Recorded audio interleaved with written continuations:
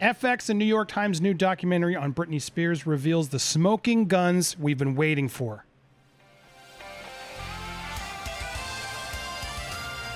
Netflix, what? A lot of us have been so excited for this Netflix documentary, but they're going to have to do some heavy lifting to try to beat what Hulu, FX, and the New York Times just did. I am still shook by these witnesses that they were able to bring forward to finally confirm what we've all been reporting, which we all have known, but finally people are standing up to speak up, and we must speak up loudly to share and spread this story, get this documentary seen, and get the courts, Jamie, and new people that were spotlighted in this documentary to have full investigations into because now we have witnesses declaring criminal activity. So, guys, let's break this down. I have a lot of notes here. Bear with me. I'm going to share with you the most important bombshells that we must be repeating and remembering as we move forward. Now, remember, we will be live Wednesday next week, the 29th. Christopher will I, Christopher Melcher and I, attorney, will be there in Beverly Hills reporting live. I hope we get to see a lot of you there. I'm going to put a link at the end of this. Uh, but 29th is an important day because that's when they are officially supposed to finally remove Jamie. Uh, and after this documentary, I don't know how they're not going to be able to do it. Uh, so this was made by the New York Times, Liz Day. Bravo, Liz, who produced segment producer on this, along with Samantha Stark. Uh, this is a follow up to the Framing Britney documentary, and it does a much better job summarizing everything and bringing in witnesses. And I got to give uh, massive props to the witnesses that they brought in. Uh, again, before I even get to the witnesses, th- again, it's important to recap like this documentary does. The conservatorship is established in the best interest of the conservatee, in this case, Britney. What is in the best interest of Britney? It is usually a last resort. Uh, and it's established for, uh, at least in California, for t- people who can't feed themselves, clothe themselves, or shelter themselves.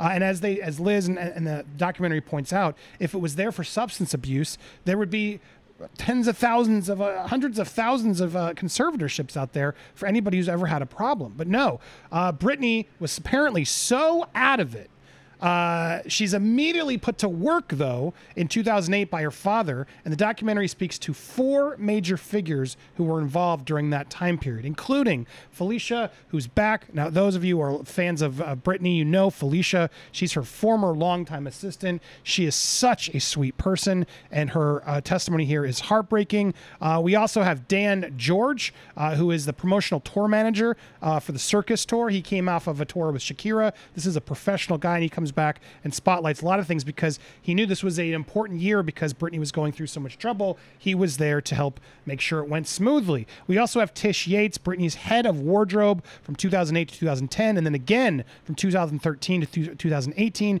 She was there for it all. But the real, real, real damning evidence comes from Alex Vlasov. Now, this is an executive assistant and operations and cybersecurity manager for Black Box Security from 2012 to 2021. Now, he was the right hand man to the security operation, and this is something we have not been speaking up about as loudly. And uh, according to Alex, this is going to be very, very bad news for the head of Black Box, Idan Yemini, who we have here. Now, Idan has been in so many photos as the head of security, but what we didn't know until today, thanks to Alex's extremely brave testimony, they were tracking everything he reveals that Jamie tracked Britney's every move. They mirrored every device she had, all text images. Uh, they were put recording devices in her bedroom. Uh, there's so much stuff he revealed here, and it went to three people, guys: Idan uh, Yemini, Jamie, and Robin Greenhill, who is a staffer manager at TriStar Sports Entertainment Group. Now, TriStar, we've alluded to this woman a lot. Uh, she's finally mentioned in this documentary, Miss Lou Taylor, who's very litigious out there, doesn't want her name. She's been removing her name from things as quickly as she can because she knows the walls are closing in on her. Karma, man, it's a bitch. Uh, and uh, we we have not spoke enough about Robin. Well, it's time we do because Alex reveals Robin was on the receiving end of every single message, text, email, photo, anything Britney did, Robin got it. Why would the manager need that kind of access to have this kind of? I, I, I don't get it. Why did these three people? Need this kind of access. And there they all are, all three of them there with Britney, always at her back. Uh, he, uh, Alex tells us a story about Idan saying he was so relieved when Black Box and TriStar weren't mentioned when the first documentary was released, uh, because even in her, uh, everything was being monitored. And, and had said a quote like, "Well, she's like a child, uh, and like any minor, she needs our parental consent." Uh, you know, her parents' consent rather. Uh, and so he went in and revealed this shocking tidbit that I want to share first. This was one of the most shocking things, and it's early in the documentary. One of the new agents that was working there was asking me, how is it okay that we're in charge of her medication? You know, I was like, what do you mean? She's like, well, we, we, we were given prepackaged envelopes. We have to hand them to her, and she can't leave. She has to take it there. And, you know, every time that was brought up or, or discussed, it was like, this is what security should be doing because, you know, this is what the client is asking for, and this is what the client needs. Was the client asking for it, or? The client is Jamie. Whoa, whoa, whoa, whoa. The security was giving Britney meds based off of what the client, Jamie, wanted. Now, this opens up, guys, this is huge. To finally have someone, and let's be clear, this guy isn't just talking, he said, she said, this guy brought evidence. He gave it to New York Times. They don't reveal a lot of it because I'm assuming and hoping Britney's lawyer has it all, and they don't want to reveal it all just yet because you don't want to just put it all out there, even though we all want to hear these tapes and things to make to, to catch Jamie. No, no, no, no. I imagine this is a beautiful. Hey, Jamie. Hey, hey, hey, remember? We were recording it all, and guess what? Alex came and just gave it to us, and you don't know what he gave us. So, you want to answer those questions again? It's going to be so much harder for them to play stupid now, now that they know there is evidence recorded. This is massive, guys, massive. And for Alex to now come forward with evidence and declare that the security was giving her medication, new security showing up and giving Britney medication, this is so effed up. It's even more effed up than we thought. Well, we at least thought, well, there was some doctor getting paid to do it. No, Jamie was telling the security to administer the medication. I'm in shock. Alex goes on and shares a lot more. He talks about how their i Britney wanted an iPhone early on, and so they were all worried. Well, how are we going to get her an iPhone because we can't monitor it? It's new, yada yada. And so they figure out, well, how can they do that? They, you know, uh, and then so Don comes to Alex and says, how do we establish parental controls for this device? Because Britney's communication needs to be monitored for her own safety and protection, is what they keep saying over and over again. Uh, Alex at that point even asked Don the, the legality of this. Are we even allowed to do this? And he said yes. The court is aware of this. Britney's lawyer is aware of this. This is for her safety, it's for her protection. Britney's lawyer and the court were aware of this. Now, New York Times isn't able to confirm that because that would be massive if they if, if we can prove that. I mean, they haven't revealed it yet. I'm sure a lot of people are shaking in their boots because now we have a witness who's at least saying this happened, and he may have some evidence to prove it. Who knows what Rosengart has? He hasn't been showing us a lot, but now I'd be shocked if he didn't have this intel too. Uh, now we have an accusation that the lawyers and the court knew she was being monitored. Did Britney? Because that's illegal. You got to get all parties case. In fact, mirroring text without the consent, both parties can be illegal. It's unclear if the court actually knew this, but they absolutely can't monitor her conversations with her lawyer. They were monitoring her conversations with Sam Ingham, guys. Alex confirms this. I mean, I'm just, I'm still shook by it all. She says it didn't feel like she was treated like a human being. She was treated like property. She also reveals that Idan, uh, Alex reveals that Idan had put an audio device in her bedroom, and there are over 180 hours of recordings with her conversations, private conversations with her boyfriend, her children, her lawyers. This is this is insane. It is illegal to record people's conversations somewhere private without their knowledge and consent. It's unclear if the court was aware or had approved this. Uh, Idan told Alex that it was extremely sensitive. Now, this is uh, there's a big moment here. There's a moment where um, uh, the New York Times article sort of reveals this too. But there's a big moment where he uh, Idan had come to Alex and gave him sort of this recording device. Said this needs to be wiped, deleted completely, so there's no record of it.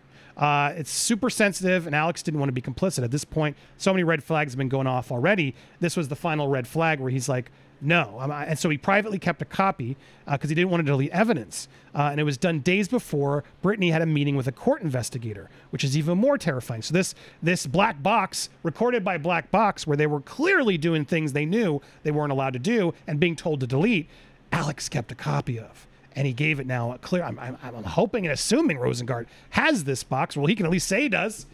and so good luck to Adon, everybody else who thought this was wiped. It's not. Um, and then Alex goes on and explains how Britney did not want to be there for her rehab, tre- rehab treatment. Um, and it's illegal to force a conservatee into a mental health facility against their will. Well, uh, the New York Times also got texts from Britney that they re- read where Britney's admitting this, saying she doesn't want to be there. She's admitting my lawyer doesn't work for me. Uh, there's a whole instance they talk about, uh, which Alex reveals uh, and the New York Times reporter together uh, because of these texts. Britney was trying to get a lawyer. This is in 2019. She's trying to get this new lawyer to help her, uh, and the lawyer can't come in because she's afraid they're not going to let the lawyer in. So she asked the lawyer to dress like a plumber.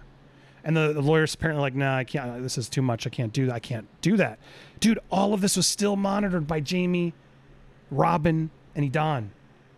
Her trying to get a lawyer monitored. How is this in her best interest? How is that in her best interest? This is horrific. Uh, and then uh, this the massive bombshell, and I'm wearing my shirt because, man, I'm wearing it proudly. Free Britney, baby. Uh, to all you guys out there in the Free Britney movement, not only were you right, they were worried about you. And they and and Edon, and, and uh, Alex confirmed that Edon was tracking and monitoring people in the Free Britney movement. They were out there sneaking themselves into the crowds and figuring out who were big fa- factors into the movement. And then they were writing bios and doing it. Megan Radford of the so-called Free Britney movement the classified was classified as high risk due to her creation and sharing of information. Holy crap! Fighting to, till the conservatorship ends. Now she's a threat to Britney. This is horrific. This is horrific. Uh, undercover agents were put in there. Uh, it was orchestrated. So and then so they all of it was orchestrated. Uh, here's the other clip I wanted to get to. All of it's orchestrated so much so that uh, uh, Alex confirms. That, and, and and this clip, they without even realizing it, the documentary confirms, if you're paying attention, how TMZ also complicit. Look at this, because he's confirming all this was faked out after that rehab treatment. They put her in a hotel and it was all staged. It was orchestrated that she would come out of the hotel to show the public that you have nothing to worry about. Look, Britney is walking around. She's with her Oh. boyfriend. These photos are a big deal because obviously here she is out and about. Clearly, she's not a prisoner at this facility. She's not. Clearly, she's not a prisoner in this situation. And then Harvey Levin, the monster, Harvey Levin. She's not. She's not a prisoner here. Harvey Levin, who gets paid by Jamie, allegedly. Seemed. I, I can't wait till we can prove that, Harvey.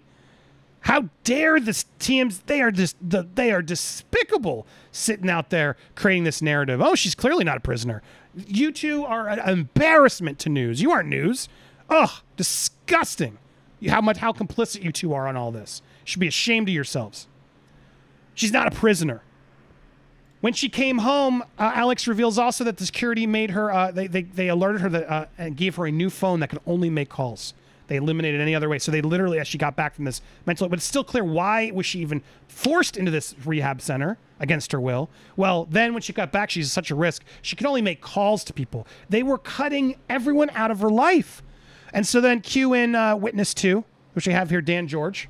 Dan George, who was the promotional tour manager, steps in. Uh, he would help Shakira and stuff, uh, and he and he talks about how insane 2018 was. This is the year she's put in to work right after she's put in this conservatorship. She's doing a promotional tour for Circus, press around the globe, etc. Uh, all around X Factors this year. She goes to New York to, for and then uh, for GMA and then LAA for Christmas tree lightings and then Ellen tapings. She's going to Japan, and the court approves all this thinking she's mentally fit to handle it. I, I'm sorry. She's so out of it. She's such a, a risk to herself. How are they allowing her to do all this work? It really begs the question of who is getting paid and why. Who's who's really involved in this? It's it's this is scary, scary stuff, guys.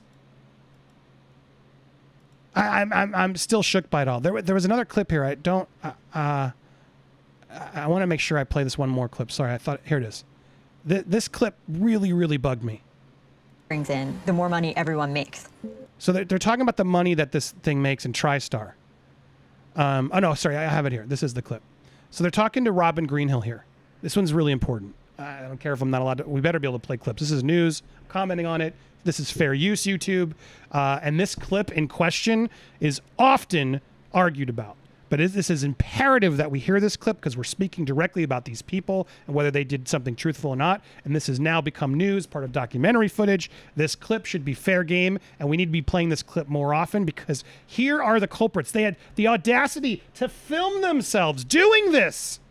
Here's Robin Greenhill.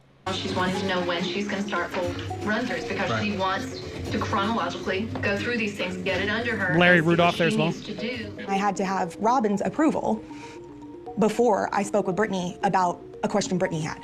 And she can work too? Two is her birthday. Is she gonna be okay working on her birthday? Sure. What do you Sure. What do you want her to? want her to play? What do you want her to do on her birthday? Yeah, she'll work on her birthday. What do you want, guys? This is literally this is the woman who's has such mental issues, allegedly. Yeah, yeah, yeah. This woman, Robin, who works with with Lou Taylor at TriStar. Yeah, yeah, she'll work on her birthday. Sure. What do you want? Yeah, sure. What do you want her to do? I mean, because she rehearsed on her birthday. She's going to Yeah, yeah, that's what I'm She's gonna rehearse on her birthday. And then d- idiot in the back. uh. What kind of things would she do? What would she control? She, every like little little things. Like Britney would say, "Hey, She'd control everything. There's. I'm, I'm looking for the clip with the parents because there's another one here. Here it is. Uh, is there any way we could have sushi Yeah, for dinner?" talking about And sushi. I would hear Robin say, "You had sushi yesterday. It's too expensive. You you don't need it again." Maybe there, she's making millions, and she's it's too sushi is too expensive. there's a lot more behind that. But I'm only there's seeing not. the outside. But if she pushed back a little bit, they pushed harder, and then the yelling got louder. Then Jamie would come up and say, "No, you're not. You're not having this," and then it would escalate to not having the boys. Now I'm infuriated. We have a witness. We've, we've heard all this from reliable sources, but now we have witnesses on camera admitting it. When that, because Britney didn't want sushi, it would escalate to, well, then you don't get the boys tonight.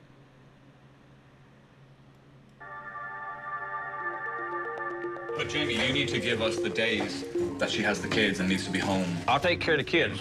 I'll take care of the kids. So again, remember, guys, I'm sorry. She's in a custody battle. She has shared custody with Kevin Federline, who we all want to take craps on. But now, now even when she gets her limited time as a parent of a divorce, you know, of, of child of who's you know divorced parents, that time is so special. I try everything I do not to work when I have my son. So I make my limited time. I can be there, right? So on her limited time, her dad said, "I'll take care of the kids." And she'll just come in wherever, because I'm gonna be the one to go stay with the kids. He's just staying with the kids during her her time. Can we go say hi to mom? No, I'm, wor- I'm working.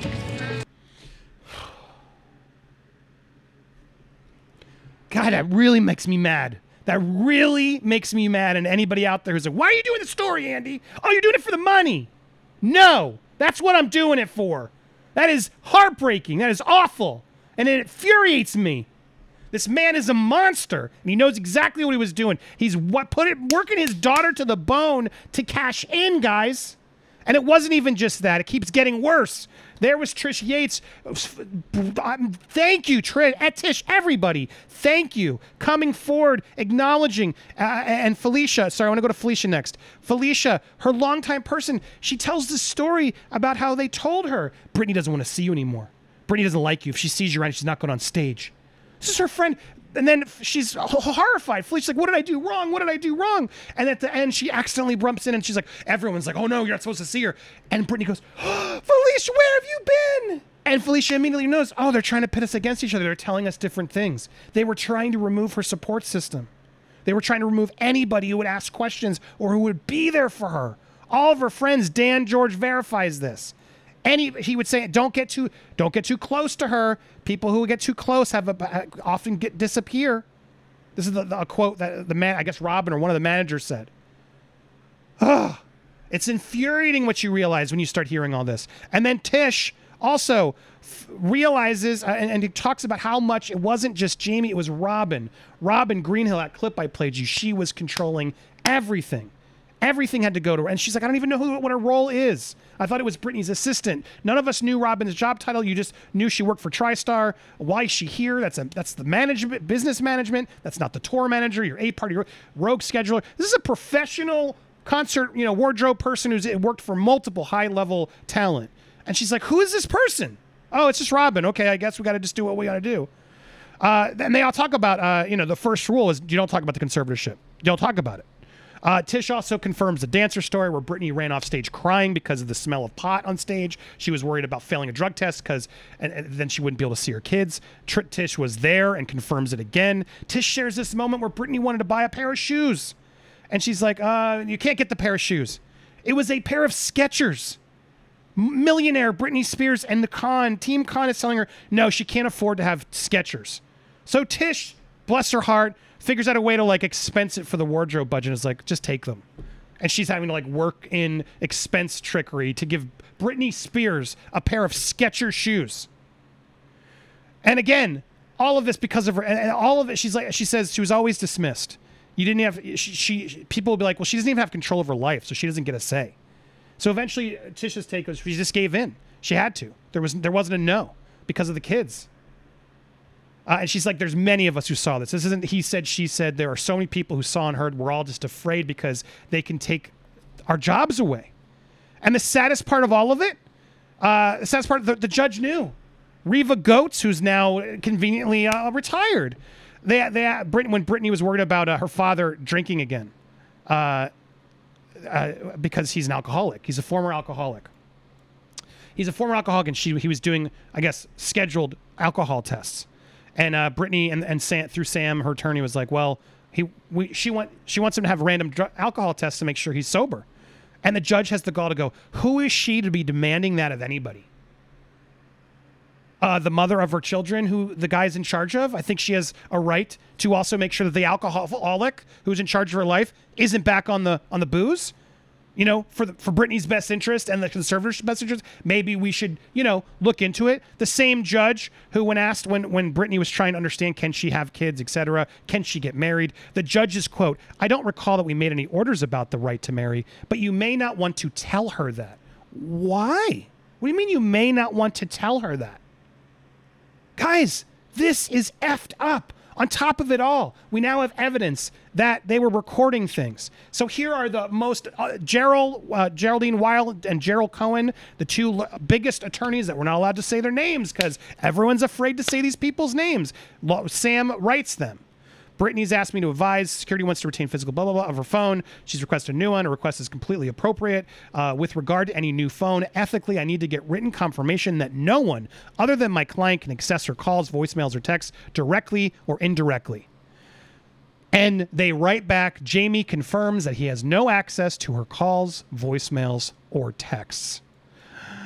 Well, there's a lot of evidence now that proves otherwise. Uh, thanks to the brave uh, stepping forward of this man, Alex.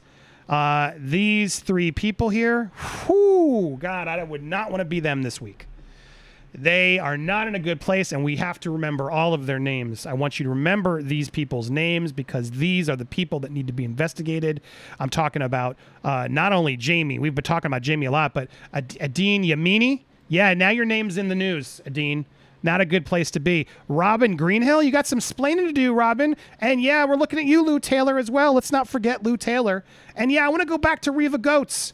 Reva Goetz, who managed just to retire and gets away with all this. I think we need to look a little bit more into this case. Judge Brenda Penny has now taken over.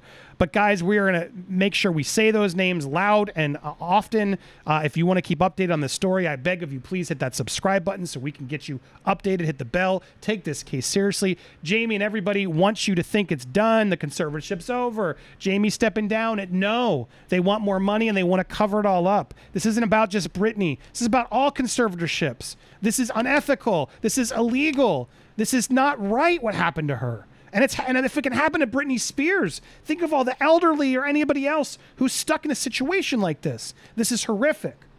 We will be reporting on Wednesday, the 29th, next week, uh, live from Beverly Hills, all throughout the day. I'll be recapping a lot of this as well. Please make sure you join us. In fact, I'm going to put it right there. It's on the left. Click the set reminder. Go there, click set reminder. Join us live. We're going to be there. Free Britney Spears. We have her back. Thank you guys so much for watching.